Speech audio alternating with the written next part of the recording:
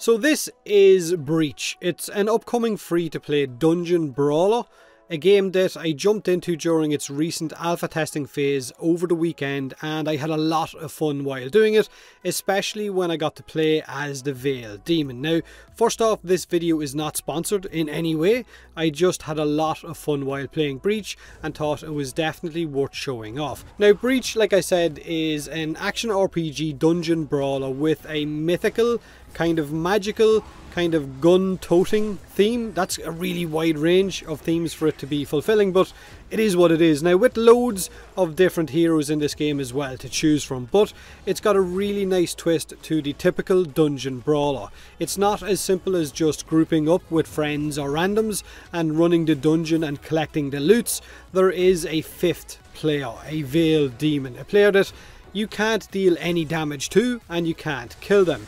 But it can trap you, it can slow you, it can poison you, it can summon in elite monsters, and it can take control of any demon, including elites, that it summons in, or the end boss as well in order to try and wipe your squad out. So it's basically there to just be a huge pain in the arse. Now while you're trying your best to avoid all of the traps and getting caught by this Veil Demon and slowed down, you are also, you and your squad are also trying to survive against waves of demons while also trying to complete objectives in certain rooms. So you and your team really need to work together if you want to beat this dungeon. Now, it's a bit like Evolve in that respect with the Veil Demon because it's one team against one monster, but it's a little bit different. But it is a lot of fun as well. There's a whole lot going on in each of these missions or each of these dungeons. Actually, in a few of the games that I managed to play as the Veil Demon, I managed to kill the other team simply by waiting for one of the players to get separated from the party, slowing him down, spawning in an elite on top of him, and basically kicking the crap out of him. Now, it kind of snowballed from there with the other teammates coming up trying to revive him, and while they were trying to revive him, I was jumping out of the elite unit, dropping traps, jumping back into the elite unit, and kicking the crap out of them as well, and of course, victory for Potato. So, it was fun. Now, the progression for each of these dungeons is pretty straightforward as well. You and your team move from room to room, and in each one of these rooms, you will have to complete a certain objective, whether it's escorting a drone, or capturing two devices, or it could be killing as many demons as you possibly can before the timer runs out, all while trying to, I guess, not get caught or not get held up by the Veil Demon. So he's going to try and thwart you. Now, com- thwart. now, complete the objectives, and you and your squad get to choose a new passive for your hero. So you get to choose between three different choices. But if the Veil Demon wins that room, then it gets the choice of a new passive. So either you get more powerful, or the demon does with each room as you progress through the dungeon, of course, until you finally get to the end boss. Now, there is currently six hero classes of magic to choose from in Breach Arcane, Battle, Dark, Hedge, Shadow, and of course the Tech Magic class.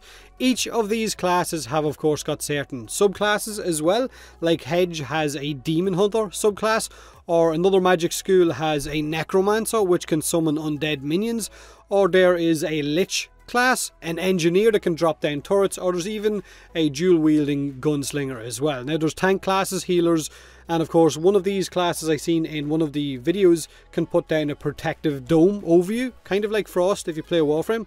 And now another really nice twist that the developers have done with this kind of hero selection process is that you can take abilities from one subclass and add them to another if the other subclass kind of shares the same school of magic. So you can kind of mix and match abilities and customize your hero to suit your own playstyle. So there is a lot of options for you. Now on top of this you can also find and equip gems that can increase certain stats like damage, health, lifesteal, haste and so on.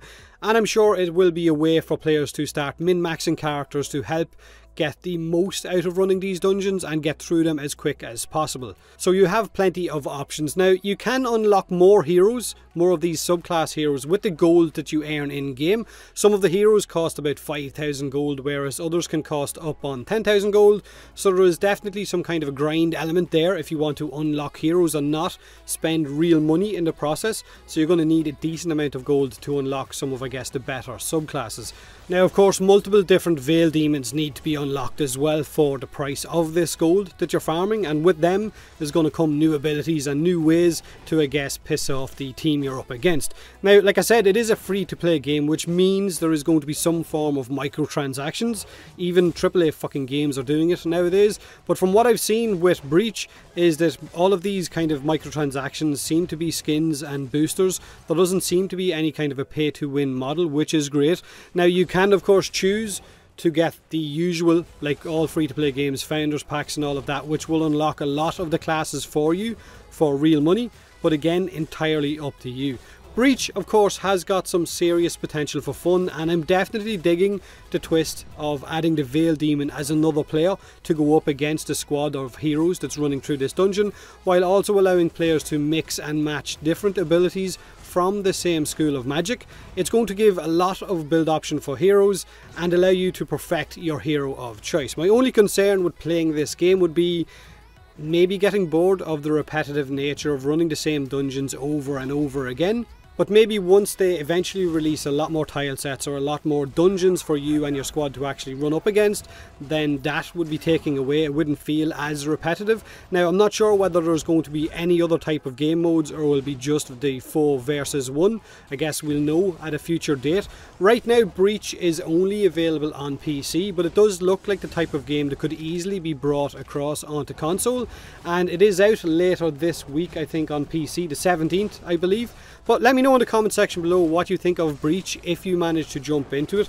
Like I said earlier, I had a lot of fun over the weekend playing it, so it is definitely worth taking a look at since it is free to play. Do me a huge favour, hit that like button if you enjoyed the video, or don't if you didn't. Let me know if you want to see more Breach, and as always, thanks very much for watching.